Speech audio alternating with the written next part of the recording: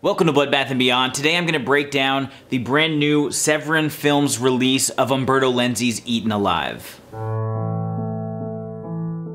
If you're unfamiliar with the film, Eaten Alive is Umberto Lenzi's second cannibal film, his first being Man from Deep River, and the following one, obviously, Cannibal Ferox, which he's probably most known for. This movie stars Robert Kerman, Janet Agren, Ivan Rassimov, Me Me Lai, and Mel Ferrer, and is loosely about the Jonestown Massacre, kind of. It seems definitely influenced by it, in which a man starts a cult and he starts recruiting all these people just so he can convince them all to have a mass suicide together. An American woman finds out that her sister is involved in the cult, so she flies overseas to find out what the tribe is all about and insert herself into the cult in a way to get her sister and escape. Similar to other cannibal films, especially of the time, we have seemingly real tribes people as actors, lots of nudity, over-the-top gore, realistic cannibalism, animal cruelty, uh, lots of rape, and everything else that's become standard fare in cannibal movies. To be completely honest, I had never seen Eaten Alive, and it's kind of strange because I did enjoy Cannibal Ferox and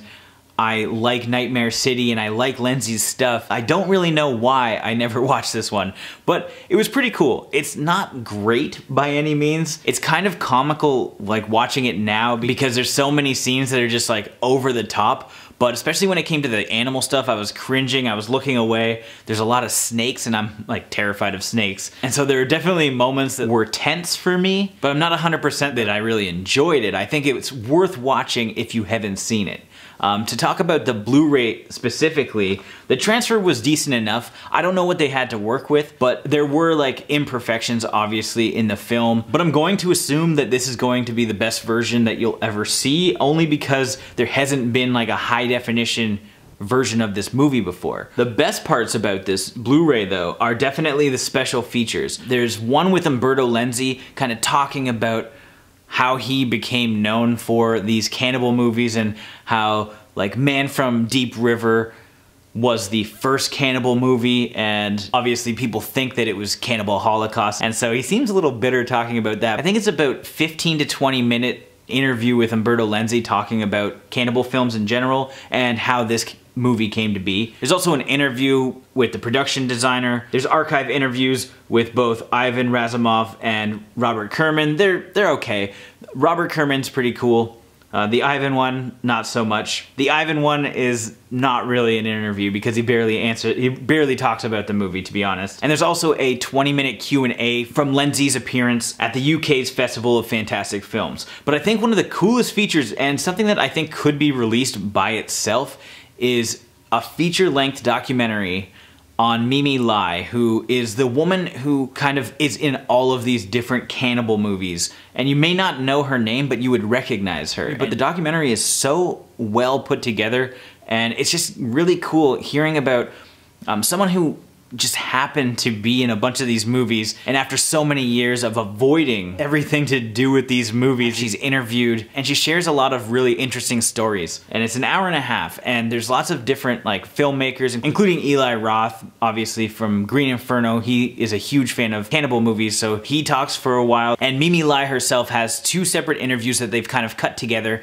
and it just kind of talks about her life. Admittedly, I did not really know who Me Me Lai was. Well, I have seen a ton of movies with her in it. Like, I've never known her name. But it's really cool to hear her recount all these memories from back in the day of her doing Italian movies and then just stopping acting and being found through her daughter's Facebook to kind of come back into the spotlight, you know, go to a couple conventions, do some signings, and have some interviews about her time on movies with Lenzi and Deodato. Uh, it's really cool. Like I said, it's an hour and 20 minutes. So it's actually really cool and insightful. So if you're interested in the cannibal subgenre, I highly recommend picking this one up. Even if you're not a huge fan of the movie itself, it's worth having just for that documentary. Um, but the movie is still enjoyable and I would recommend it.